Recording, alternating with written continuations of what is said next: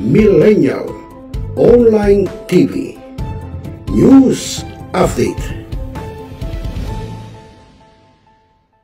Isang kilo ng imported na shabu na nagkakalaga ng 6,900,000 ang nasabot mula sa isang lalaking claimant sa iganasang operasyon sa Malagasang Tubig sa Imo City, Cavite, lunes kahapon Marso 21.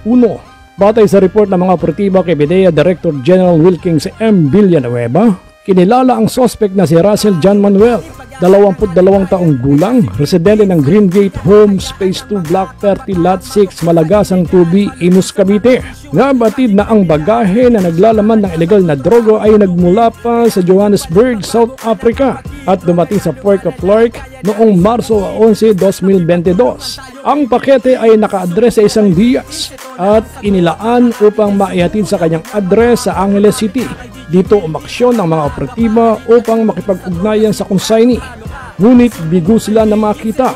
Noong Marso 20, itinuro ng pinanggalingan ng courier service ang lugar na pagdadalhan ng bagahe sa Cavite at dito na isinagawa ang paglulunsad ng kontroladong operasyon ng paghahatid ng bagahe.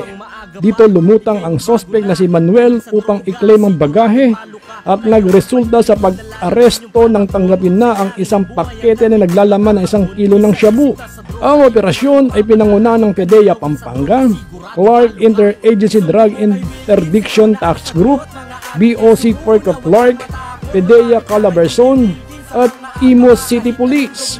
Ang suspect ay maharap sa kasong paglabag ng Section 4 ng RA 9165 Jim Payag para sa Millennial Online TV. Ang katropa mo sa pagbabalita. Millennial Online TV News Update